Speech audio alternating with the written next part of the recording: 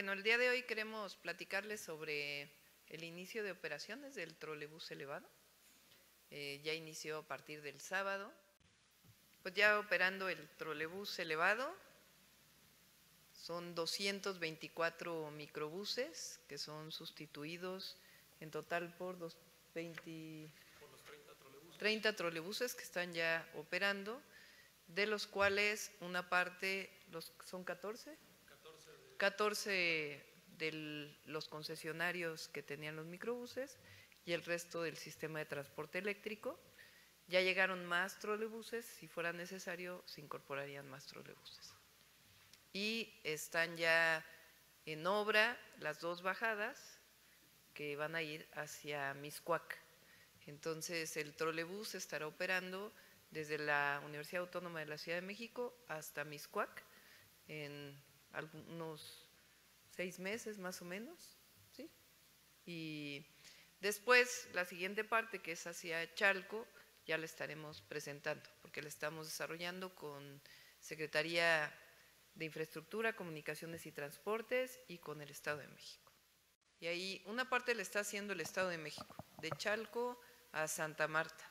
La parte de Santa Marta a la UACM la va a hacer la Secretaría de Comunicaciones y Transportes para que se conecte con lo que nosotros ya construimos. Es nosotros nada más estaríamos operando. Están ya por salir la licitación para los trolebuses que van a operar esa parte porque los trolebuses tardan alrededor de seis meses.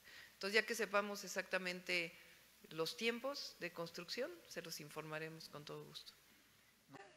La Ciudad de México tiene varias empresas públicas o organismos descentralizados de movilidad, organismos descentralizados de movilidad, que es como empresas públicas.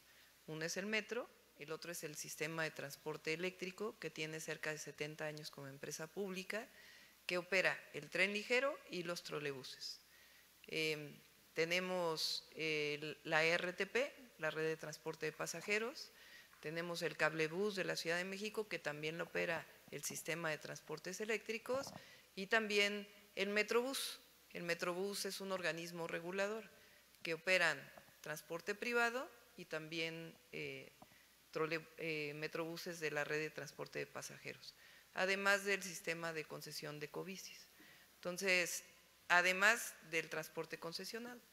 El trolebús elevado tiene un sistema de operación especial. Ahora hay 14 trolebuses que los opera los antiguos concesionarios de microbuses de Ermita Iztapalapa.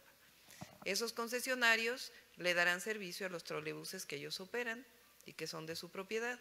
Y los otros les da servicio el sistema de transportes eléctricos como a todos los trolebuses de la ciudad. Cubrir con los nuevos autobuses de la red de transporte de pasajeros y eh, los trolebuses otras zonas de la ciudad, particularmente los nuevos RTPs ya están cumpliendo o funcionando en Magdalena Contreras y Tlalpan. Y Tlalpan. Eh, están, van a llegar más RTPs, van a ir ahora eh, también a Milpalta, eh, Milpalta y Xochimilco. ahí hubo la cancelación de una concesión, si ustedes se acuerdan, están por reactivarse a través de empresa y ahí tenemos que resolver el problema de movilidad, particularmente de Milpalta.